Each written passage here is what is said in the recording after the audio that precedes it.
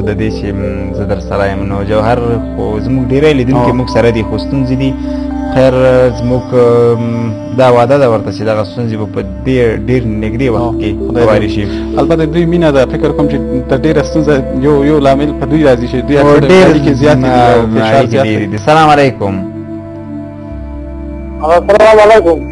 ستړي مشه یاد بي دي ریتا امید خان افغانیار دا افغانیار صاحب دا پنځم اړیکه ده چې موږ سره نیسي او خو دې مینه ده چې موږ سره ښي د خپل خبرونې سره ښي رحماني صاحب ډېر یو خسته دغه ته اشاره وکړه نقطې ته که سړی فکر وکړي مینتوب که د شعر زیږنده وګڼي یعنی چې مینتوب د شعر راځيږي نو دا شعر یو ډېر یو محدود یو ډېر یو معمولی نقطه پر یو یعنی د ژوند یو معمولی څنګ پر چې محدودیږي راڅرخي بیا نو که شعر سړی د ټولې زندګۍ د پاره کوي جوهر صاحب بیا هم ستړي مشه لنې کمرغه چې بیا دې را سره اړیکه وصل شوه مهرباني وکړئ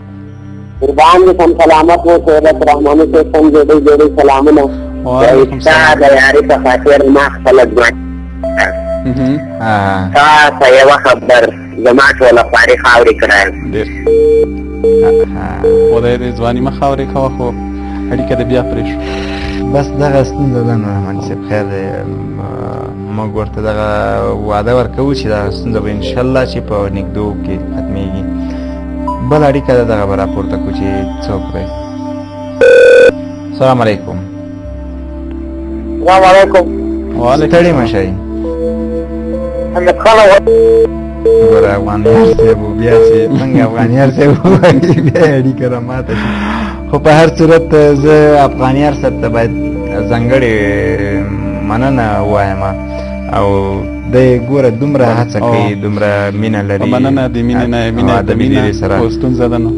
بس دا ستونزه خو زموږ له واکه نه ده نو رقیبان دي چې تر منځه مو ګوتې وهي خو رحماني صاحب ما مخکې کنه خبره کوله چې شعر باید د یوې محدودې زاویې پورې هغه نشي منحصر نشي شعر یو پراخ مفهوم دی او پراخ مفهوم مینتوب که مونږ شعر پرې محدود کو نو یوه خبره ده چې ولا شعر چې زه مین کړم شعر چې زه دې هغه ته وهڅولم او شعر چې زه مثلا دې دنیا ته راوستم نو موږ شعر د یو شی وسیله غنای شو خو یو شی د شعر وسیله باید ونه غنو یو معمولی شعر مثلا زما اینو په مور پلار هیڅ څوک داسې نشته چې په دنیا کې هغه کافر دی مینه د ورسره لري یا پلار پلار مینه لري حتی انسانانو نه پرته په حیواناتو کې هم دغه ځانګړتیا شته یعنی مور د خپل اولاد سره مینه لري او اولاد د خپل مور سره معنا دا چې اوس که موږ وګورو په هر ټولنه کې یو عالم دی او ډېرې ښې لیکنې هم لري هغه وایي چې په یو سړی مړ شي مثلا وایي چې هغه د خوشحال بابا شعر دی چې پیدا شوې تا ژړل خلکو خندا کړه داسې مړ شه چې ته خاندې خلک ژاړي نو خبره دا ده چې خپل خپلوان په هر چا پسې جاړي یعنی مینه ورسره وي نو خبره دا ده چې هغه نه راغی د چې پردي ځان پسې وجوړوي دا اړیکه را سره وصل ده سلام علیکم سلام علیکم سلام علیکم ستړي مشه یاد بي دې تګرانه امیر خان افغان یار دوی ته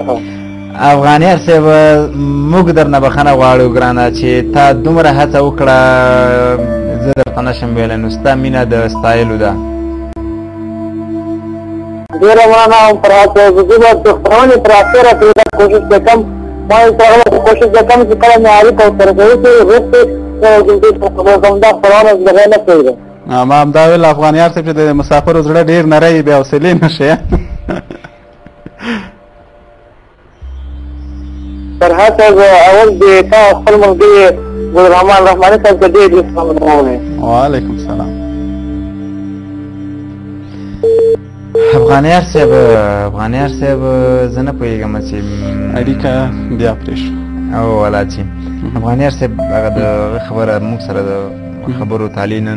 نه لري کني نور وخت به د خبرونې په سر کې راته نو رحماني صاحب خشبي خو مو ډېرې خوږې دي البته ستا سب خبرو یوه نقطه علاوه کوم یو ټکی مهمې ښې خبرې وي د دې لپاره که وغواړو زموږ شعر تلپاتې شي پیړیو پیړیو کې پاتې شي خلک لوستونکي او مینوال ولري هغې یوازینی شعر مهمه مهمه ټکه مهمه خبره همدغه ده چې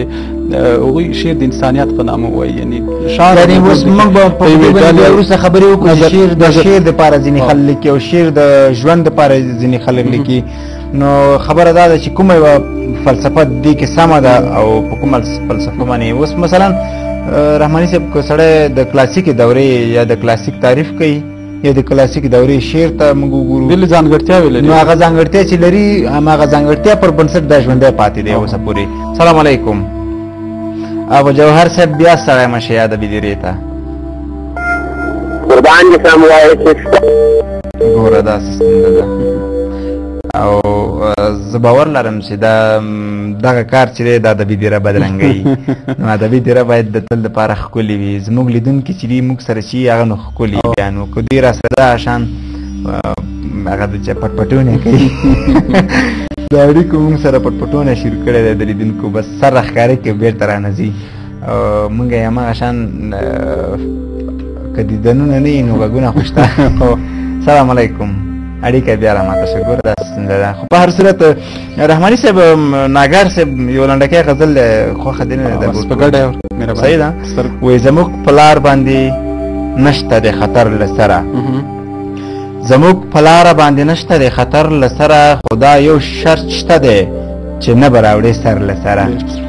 او په وینو ژوند لکه د ګل د ښکلا ښکلی تعبیر په وینو ژوند لکه د ګل د ښکلا ښکلی تعبیر موږ د شفق غوندې تاو کړی دی سره زر له سره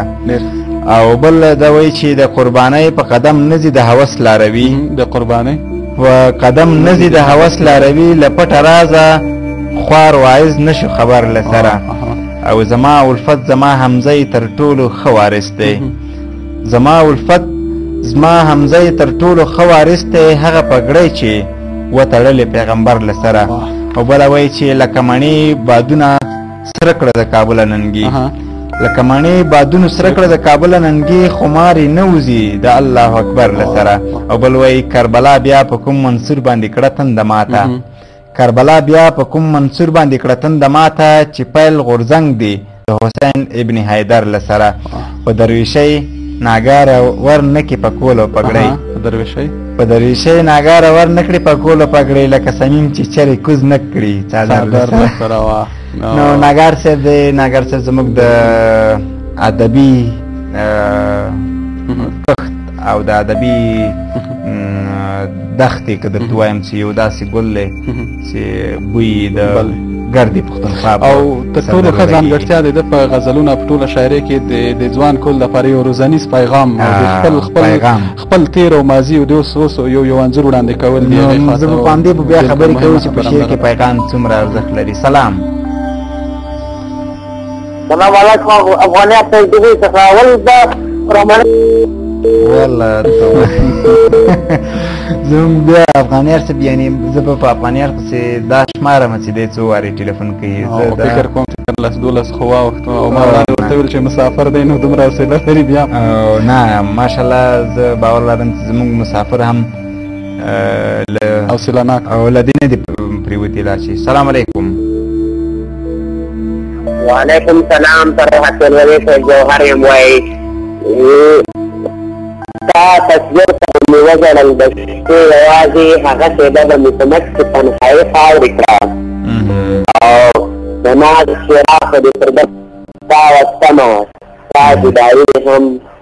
ژوندون هم زندګي خاورې کړه او تا چې جواب راکړو نو زه سړک ګرځېدم تا چې هو وکړه تا مې بېرته ستوماني خاورې کړه او نه دې پیدا کړې او نه دې اخر سوی وخت راګرځي ورپسې ټوله هستي خاورې کړه او رحماني صاحب نن مننه کوم چې تاسو بس لنې کمرګه چې دا دلی خو شعر بشپړ الله مننه جوهر صاحب هم تراغو په دې هڅه کوي چې خبرې را سره ونه بریاله جوهر صاحب افغاني هر څه قسمتونه خراب دي نو نو افغاني هر څه تمه ده چې زما په انسي دا هم له دوبۍ نه د اړیکه دا راپورته سلام السلام علیکم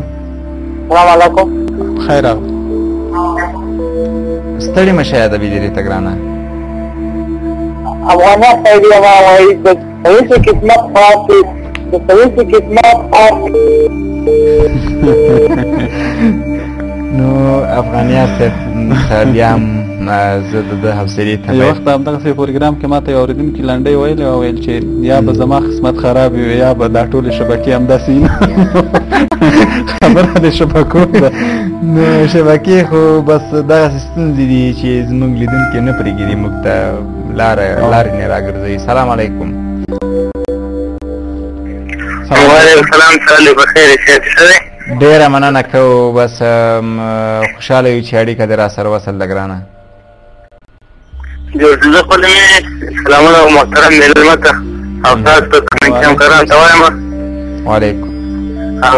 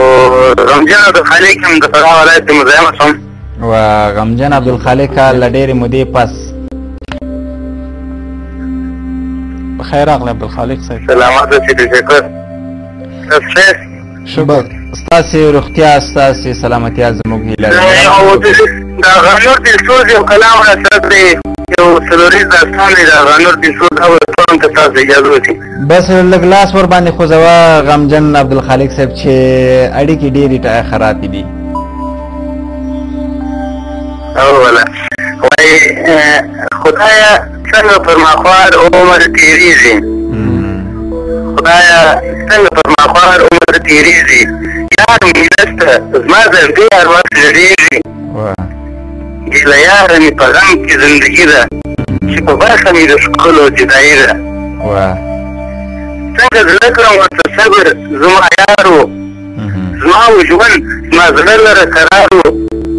څنګه زړه کړم ورته صبر زما یار و زما و ژوند زما زړه لره قرار و